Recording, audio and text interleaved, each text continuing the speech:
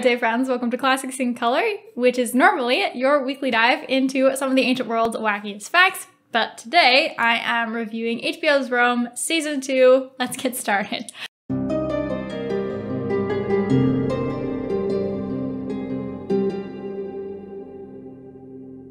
So, spoilers.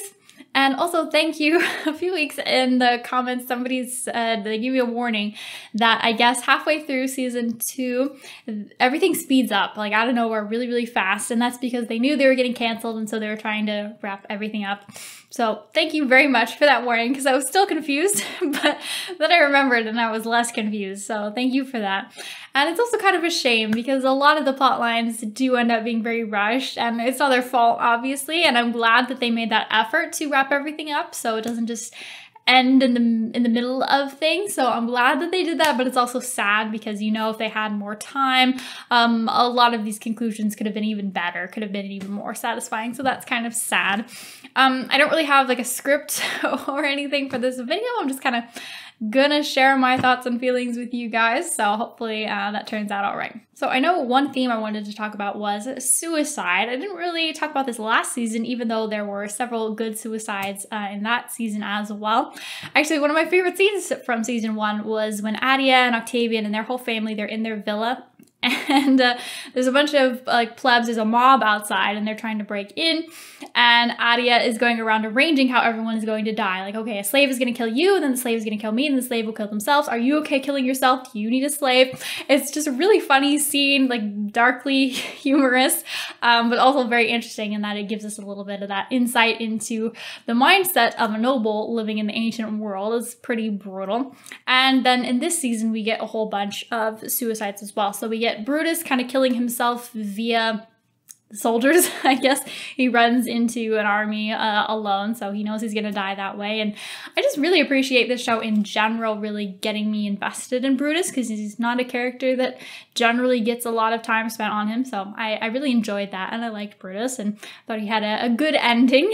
um, and then, of course, we have uh, Antony and Cleopatra committing suicide, and I really loved them. I thought their whole thing together was a lot of fun. I kind of wondered if they would go in a different direction because uh, Octavian and Augustus's propaganda about them was yeah they're living in debauchery and they're a drunken mess. And so i wondered if they would go the other way and say oh no they're actually not doing that. They're just uh, being very rational reasonable people. But no they, they leaned hard into their partying and doing drugs and all that. But i thought that was fun. Uh, i'm not mad at that.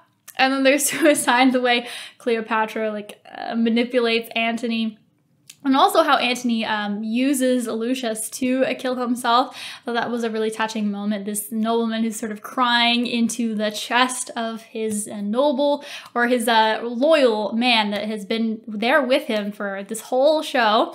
Uh, that was really great.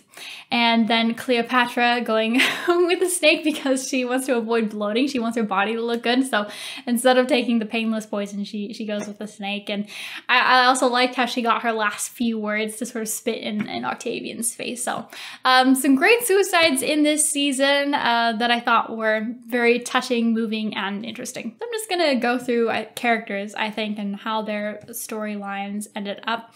Uh, we had a few new ones this season. So uh, Timon it was in season one, but now uh, his brother was in it. And honestly, I was kind of bored of that whole storyline. I, I wanted to be interested in it because it's cool to see how different ethnicities besides just the Romans interact with their world and see the world and a Jewish perspective. Um, I wanted to be interested in, but I just wasn't, so I felt bad about that. And then um, we had the new Octavian, which I liked him at first. I thought he was pretty cool, but then he started to kind of annoy me. And I know that's kind of the point with him, that he's kind of a pain in the ass. But I liked the original Octavian better because it's not, he was still hard, like brutal and clever and conniving, but he also still had a human side. Um, he still felt like a real person. Whereas this Octavian didn't feel real. And I didn't understand, like, what are his motivations other than just winning, I guess. But I didn't even really see that. I don't know. He, he was just weird. He didn't quite feel like a real human. It felt like maybe they were going a little overboard with that or I, I, don't know what the deal was, but he, he bugged me a little bit. But again, I think they were doing it on purpose. So it just was not my preference. I don't know. But what I did like was his whole posse. So we get to see Maecenas and Agrippa, and I loved that. Especially because I always picture both of them as being like old, but in this show, they're young. They're like 18 or 20. They're like kids. And Maecenas is really cool. Actually, he's a patron, a, a patron of a whole bunch of poets from the Augustan era. And the Augustan era is kind of my personal favorite. It's where most of my favorite authors are. Um, and he was like working with them and friends with them and supporting them so it's really cool to see him get portrayed because he almost never gets portrayed. And then also Agrippa, and of course that actor is just adorable. So his little relationship with Octavia was uh, very sweet especially actually in the first part when they weren't having sex actually. Um, i know it's hbo so everybody has to have sex but when it was just sort of this innocent little i love you thing and not like we're just smashing in closets um, i don't know that was just like more romantic i guess but uh, they do hint at how they're eventually going to get together at, after the end of season two so i, I thought that storyline uh, wrapped up pretty well. Then the whole feud between um, Atia and Servilia. Whew, those gals that hate each other. They were going so freaking hard. I feel like in the first half of season two, uh, Atia like kidnaps Servilia and is torturing her. And that felt a little bit like HBO again, trying to take everything to 11. It felt like a little too much, a little unnecessary. But at the end, when Servilia is like chanting outside of the villa and then kills herself, that was pretty good. I liked that. And then also Atia how she goes through this whole phase of being in love with Antony, but then not being able to marry Antony. Actually, I, th- I wanted them to play that up a little bit more because the whole time she was talking about, oh, yes, we're going to get married. It's going to be so amazing. I'm going to buy a dress. And everyone is just like sitting there looking at each other. Oh, that was delicious. I loved that. Um, but then at the end, when she's mourning Antony, but she still puts on her brave face. She gets dressed, she shows up, and then she's like getting in this whole little cat fight with Livia. Like, I go first, I'd have precedence over you. I, I love that. I've always kind of liked Atia, that she's like this horrible person, but I still kind of like her. Um, and season two, she's still a horrible person, but I, I liked her even more. I liked uh, her ending, how she was such a strong person that even as you see she's mourning Antony, this is the love of her life more or less. And she's seeing his armor paraded by. And she's mourning, but she's also being strong. I really like that. I didn't totally understand how it seemed like all of a sudden her and Octavia, her daughter, are best friends. And season one, they were not best friends. So maybe I just missed it, but it seemed like out of nowhere, it was just a switch for their characters. And to be fair, like time has passed, and also Octavia has had a lot of time to grow up and see why her mother is so hard and is the way she is. So maybe they've been reconciled, but I just didn't really see it happen, or I, I missed that happening. Then Titus Pullo. Uh, I love Pullo by the end of season two. He has grown on me so much. Although it was so sad. They did not have to kill off his wife. That was unnecessary. Although I understand it made really good drama for Gaia to have killed his wife, right? But also, I mean, she killed her while she was pregnant. That's that's a little much. Like, geez. yeah, that one hurt. But then it was also really cool to see Pullo like strangle her and then dump her in a pond. That was uh, very dramatic, very satisfying. But I just felt like he deserved better. But I guess at least he gets his son which that was probably my favorite thing of season two. If you remember, I really enjoyed that it was Pullo who fucked Cleopatra, and then Caesarion eh, they hint at, and then they definitely confirm in this season is actually his son.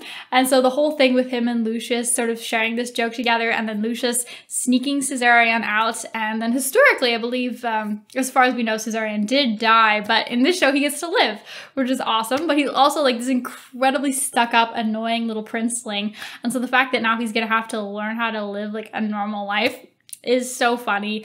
Um, and he's gonna have to live with Pullo. And so the interaction between those two, I, I can just imagine would be amazing. So I loved that. Then Lucius.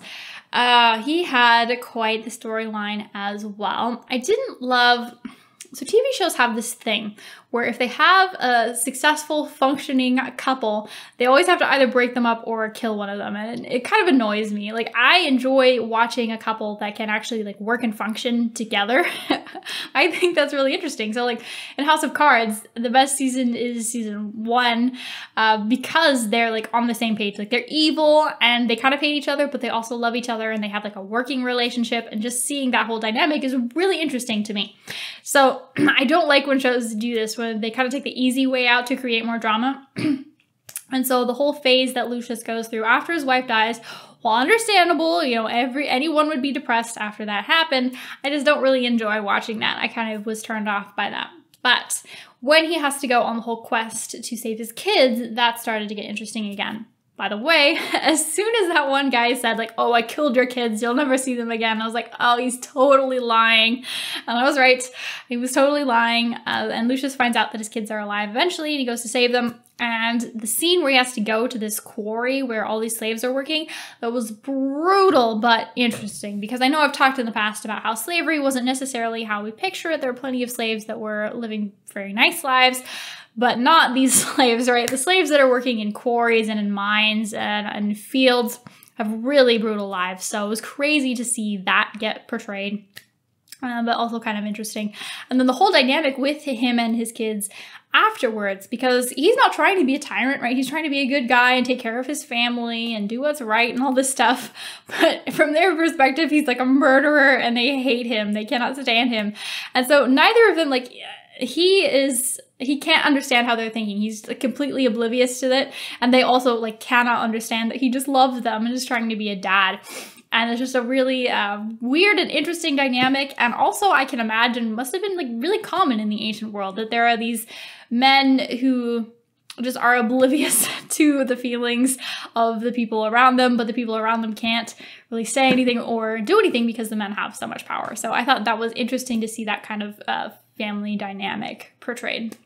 Again, that was a storyline that I felt got resolved a little bit quickly, and again, that wasn't their fault, but it seemed like all of a sudden he was just uh, reconciled with his kids again. Which, to be fair, it's not like they pulled it out of nowhere. He is dying, and that is a good time for, even if you don't love your parents, you still want to go see them before they die and say, hey, you, are my dad. Um, so it wasn't terrible, but it did feel a little rushed. I did like how he still had that little uh, portrait of his wife Niobe, and how uh, Tulo made sure to save it for, or Pullo made sure to save it for him, uh, and he's sort of looking at that at, as he's dying. Um, I thought that was really good. Oh, Cicero, I really liked. At the beginning, he was uh, annoying me a little bit still because he's just such a pushover, and I guess that's kind of true, but I don't know. I don't love how they did all of that. Uh, but by the end, he stops being a pushover. He stands up, uh, faces faces faces the music, and he had a very like peaceful, brave confrontation with death that I really liked. And also his whole interaction with Pullo, who's come to kill him. They're just like so matter of fact and polite with each other that I, I really appreciated and enjoyed that whole scene. I thought that was really great, actually. So I'm sure I forgot a ton of stuff, guys. It was a long show, and I sort of binge watched it over the weekend to uh, finish so I could film this. So hopefully I didn't forget anything uh, too crucial. But overall, it was very good. I liked it. It was a bit rushed, um, but they couldn't really help that. There were some plot lines and some characters that you know either I didn't really care about or that I thought were kind of annoying, but overall very good. Again not like completely historically accurate about everything but as far as a lot of the daily life stuff went as far as like the feel and the tone and the mindset of a lot of the characters i felt like they got that really good and as far as i know pretty pretty accurate. So uh, again like thumbs up. I definitely liked it. I'm excited to hear all of your like thoughts and feedback on this and uh, yeah, thanks for checking out this video. I hope you have a great week. I'll see you all again next time. Karate.